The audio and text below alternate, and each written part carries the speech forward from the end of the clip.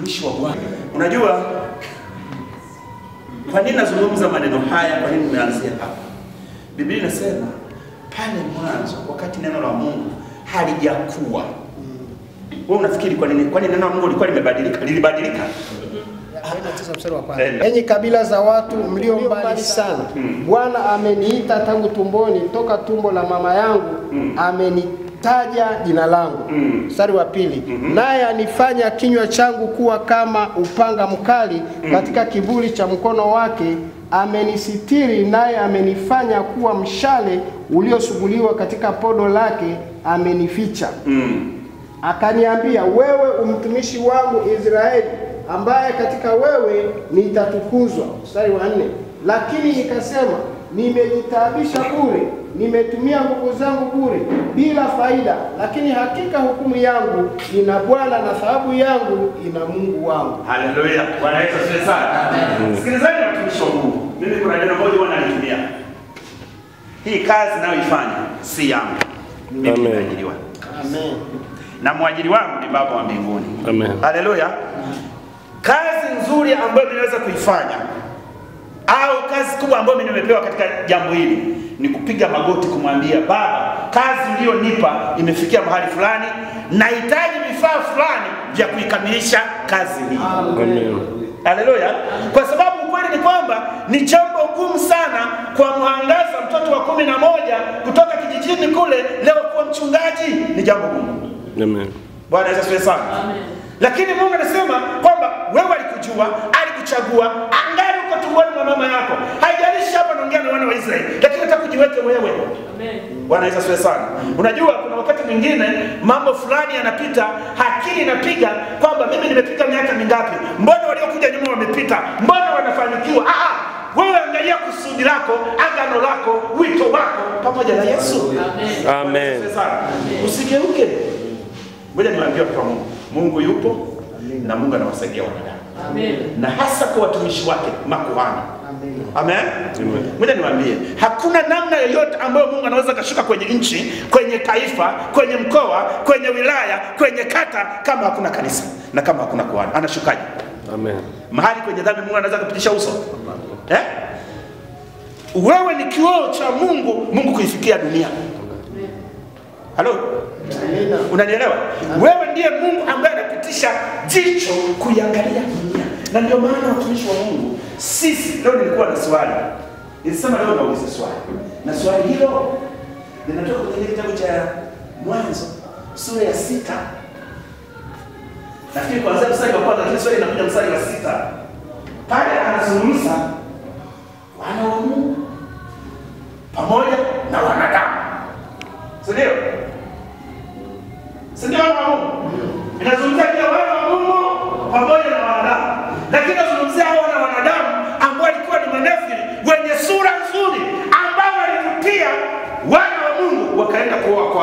kwao, wakaishi kwao, Mungu akadaini. Sasa nasema leo sisi kama watumishi wa Bwana, makanisa tunayoyalea, tunalea watoto wetu, tunalea mabinti zetu, watoto wazee wa kanisa, watoto wa shirika. Mbona leo? Lakini mimi nasema tafuta kwanza ufalme wa Mungu na haki yake yote, na hayo mengine mtazidisha. Ina maana namba moja kwanza ni utakatifu. Amen. Nifurahia jambo moja mwenyekiti. Ha. Nilipata upinzani mkubwa sana aliposema mtu anaita dadani, mlango uko wazi, uliingia ukiwa wazi, funga mguu, simama, nenda. Amen. Akasema huyu mchungaji mkali, wakaniita mkoloni, ita sijui nani, Osama, vyovyote iwavyo, majina. Eh, Osama, Idi Amini, yaani kila jina baya. Wakaweka pale, kaniambia aliyeitwa ni mimi, atakayeulizwa ni mimi mbinguni nahitaji kuingia na mmoja au wawili watatu tutakaoingia nao watu nao mbinguni. Inatosha. Wanaweza siwe sana. Unajua kanisa kutoka kwenye watu 80 liliporomoka likabaki washirika wanne nikasema hawa ndio wa bwana. Haikunishtua haikunitisha sikuona tatizo. Tena nikwambie wakati ule mungu alinipa ujumbe kulikuwa na nguvu ya mungu inashuka mpaka na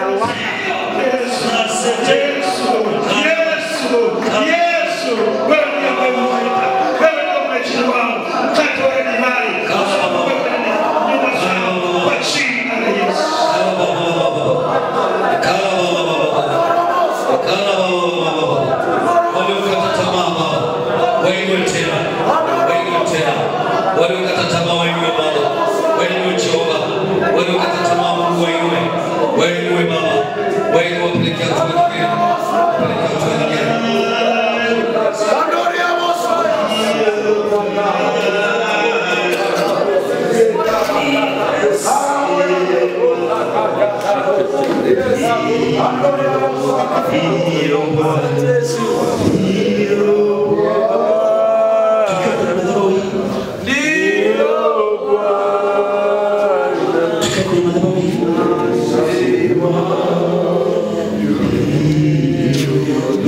sema. Ninasema ukayabashiro é ninasema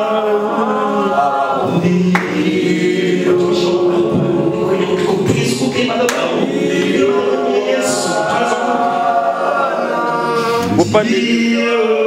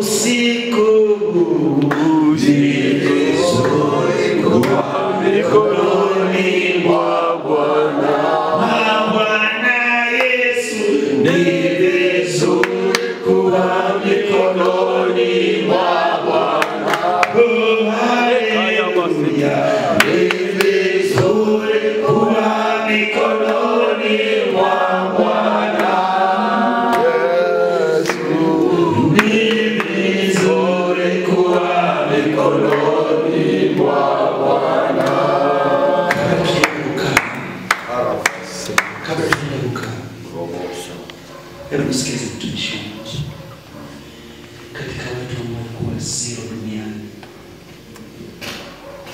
kama inafikia wazazi ambao wamekulea na mama akiwemo pakube kwa kubebeshwa jambo kwa kutokulijua gharama yake, ikafikia mahali wakachimba mgomba na kuchimba shimo wakazika. Nilipowapeleka watoto wangu wanaofahamu